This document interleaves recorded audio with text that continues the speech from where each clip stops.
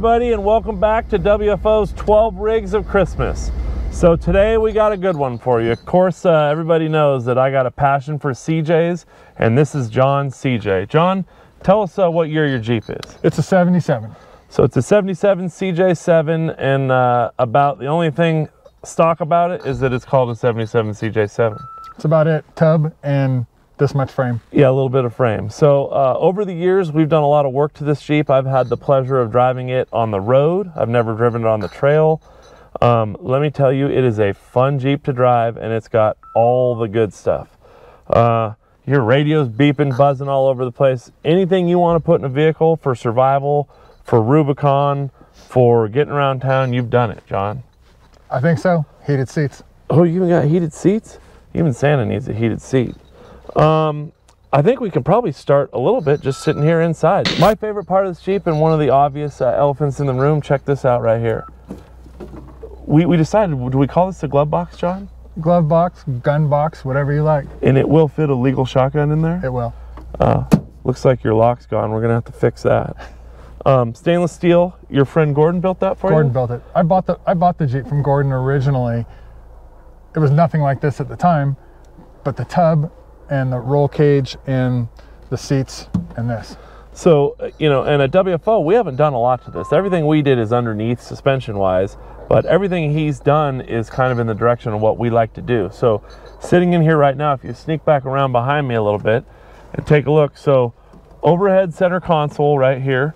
Um, obviously, always have to have the rear view mirror mounted to the roll cage. So when the window's down, you can see behind you. That's right. You got a lot of radios. So you want to tell us about your radios, John? So two meter 440 ham radio, Rubicon repeater, Jamboree repeater.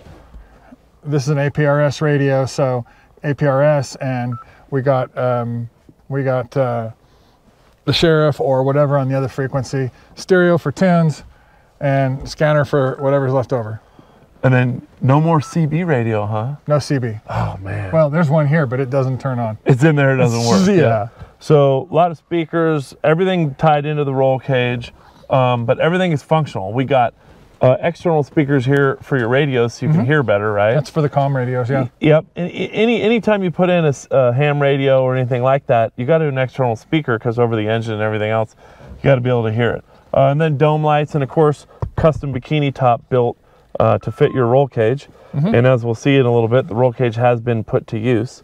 Um, If you want to sneak around and look uh, at the at the dash here, I see the sun, the dash is sunken in. And what do you got there? AutoMeter gauge. So it's a full AutoMeter gauge package, yeah, and and uh, um, over the river switches and and yeah, and you have a standard heater still hooked up in here, not the stock heater. It's got a Summit heater. aftermarket from Summit. Yeah, yeah. The stock heater didn't work too well. and of course manual transmission so nv 4500 so what makes me happy a cj what makes me happy a v8 which we're going to get to that and then manual transmission now what what are you running for a transfer case Uh, it's a Atlas two-speed 5.0. and it's five to one because john does a lot of snow wheeling and it's all about you know slow wheel speed not digging in the snow That's right.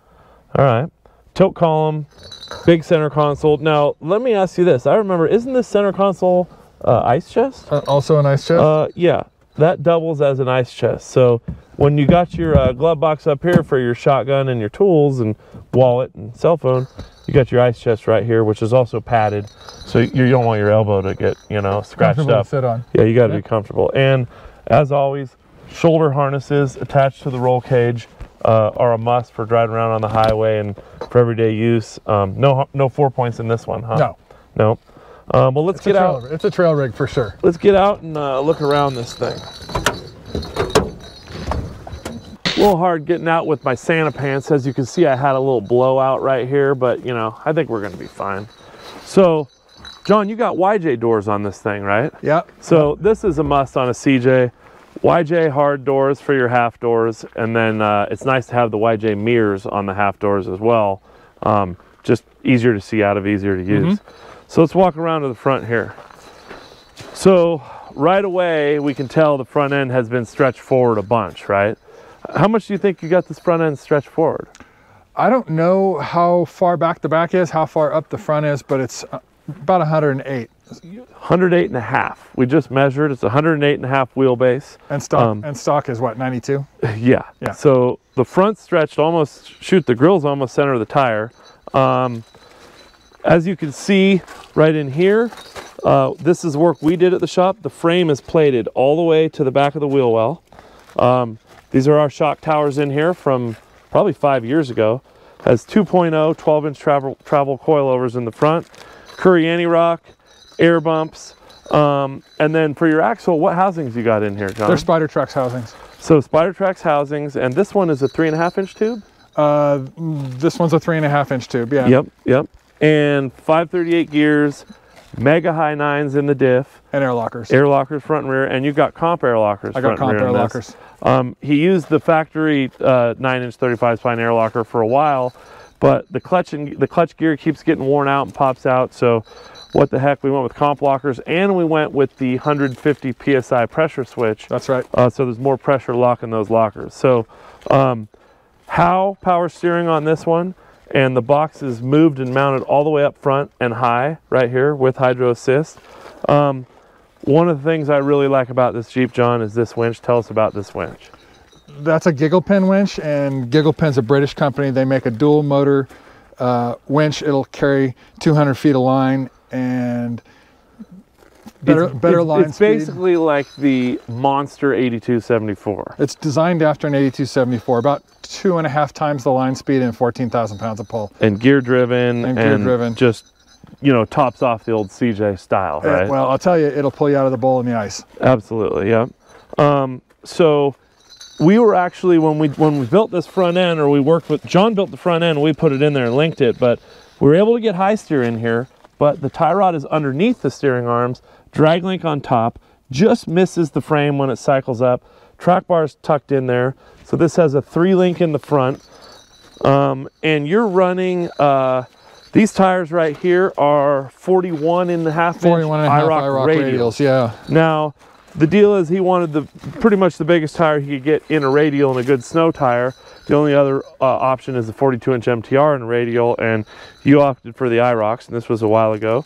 Um, and then those are Raceline beadlocks. That's right. Now, another cool thing that I like about this is those beadlocks have, I think, five and a half inch backspacing. They right? do. They You're have a ton of in, backspacing. so you have a really good scrub radius when you turn this thing.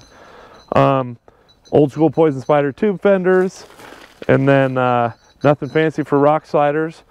And then when you come around to the back on this thing, this is where it gets fun too. So um, you rolled this thing, right, John? Uh, more than once, but uh, but the last time I did more damage. Yeah.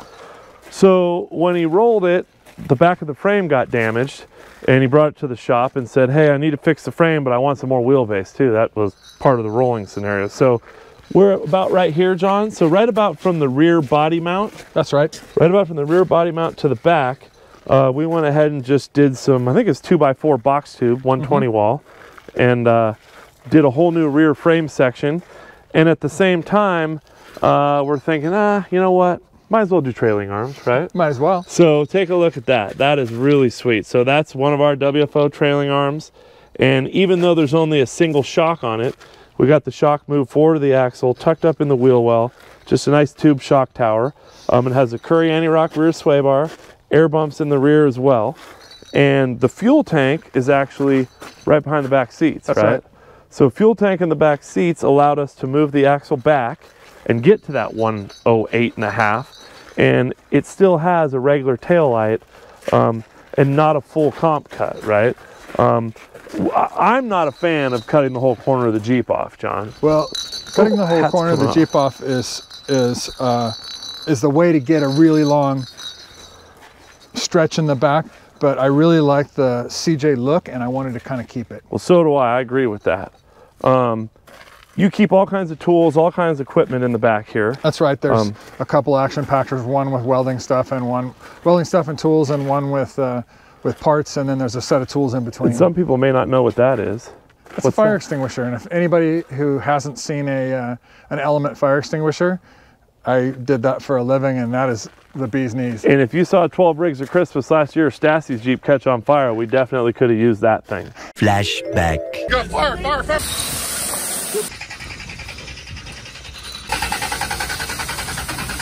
let this be a lesson to you guys in your fire extinguishers. Um, so what do we got going here, John?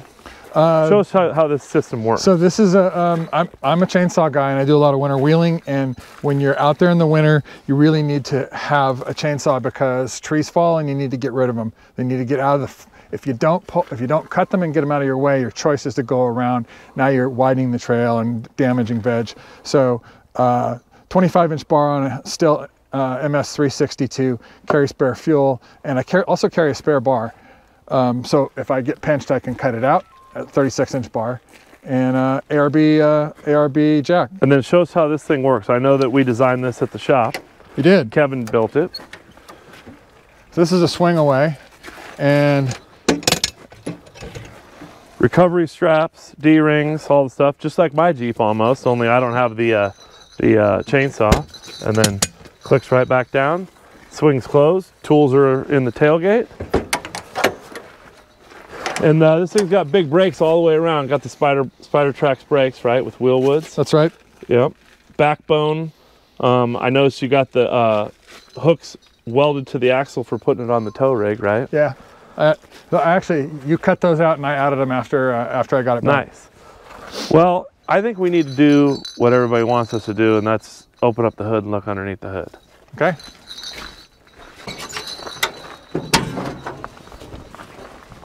So this engine went in. Did I put this engine in? Did we do it at WFO? I think we did. You did. Um, it had a it had a, a LT1 in there before, and I started having problems with the fuel injection because of the new gas. And I think we put this in in about Maybe 10 years ago. I yeah, think. I would say 2010 is Yeah. a good guess. So this is an all aluminum 5.3 and it comes out of a 05, 06, 1500 Chevy. Um, and this is where I take my hat off and use my trusty Santa, Santa phone here because it's kind of a special engine and uh, I want to read about it and tell you guys what it is. So it's all aluminum. Most six liters, four eighths um, are going to have cast iron block aluminum heads. So this one's all aluminum, and here's what we got. So this is, um, it's a Vortec 5300 L33. So it's called L33 engine. Uh, the VIN code is a B. Uh, it's aluminum block version of the LM7, marketed as a Vortec 5300 HO, meaning high output. Uh, instead of the LM7 dish pis- pistons, the L33 uses the 4.8 flat top pistons. It also uses 799 cylinder heads, identical to the 243 castings found on the LS6s and LS2s, lacking only the LS6 spec valve springs uh, and the hollow stem exhaust valves. This combination raises the compression from 9.5 to 1 to 10 to 1, and the L33 also used a unique camshaft only found in this engine. Uh, other engine specs, it has uh, 50 thousandths duration, or, or let's see, at 50 thousandths duration are 193 duration, 42 lift, uh, 116 LSA. Uh, as a result, power increased by 15 horsepower. So this is 310 horsepower from the factory and 335 foot-pounds of torque. It was only available on extended cab short bed four-wheel drive pickup trucks. And only 25% of 2005 made pickup trucks had the L33 engine. That's a lot of information about this engine, but it's all aluminum, it's lighter, it's got more horsepower than your standard 5.3, 10 to 1 compression, and let me tell you, it rips. And it's got a lot of torque. A lot that's of what torque. I was after. Was Yep. the lightweight and the torque. I, I've driven it, I enjoy it, it's super fun to, to be in. Uh, you have the dual diaphragm power brakes on this thing. Uh, this is the typical disc disc Corvette master cylinder that everybody uses. Um, one thing we did when we put this engine in, like always, if you sneak around right here and look from the back side, that is a mechanical clutch fan. So we still use the truck fan with a clutch. Makes a little noise when you fire it up. Um, he has a standard radiator, uh, not a dual pass, so the hose is coming out of the top and sneaking around. This is the Cobra head that we always use for the intake. Um, you can see a little strut bar coming across the top from the coilover towers. Um, this is where John's got to tell you about this stuff. So what is going on here, John? That's a lot of battery action, and Yeah, I can see a welder there. So yeah, starting battery, uh, the accessory battery, it's got a Genesis smart switch on it, so it knows when to charge which one and isolates them when they need to be isolated. And it's got a Premier power welder. And uh, the other thing it has is a is a uh, compressor. Do you remember putting that in? So John asked us, he said, Hey, I really want to put a York compressor on my engine. And you had it on the old tune I board engine, I did. um, or LT engine. And we said, ah, we'll go for it. We'll make a bracket. There was nothing out for the LS engines. That bracket fought us, John. So we thought we had it lined up. We thought we had it perfect. Kevin did a lot of work on that thing, fired it up, it would squeal. Adjusted a little bit more, belt would squeal. Adjusted a little more, belt would squeal.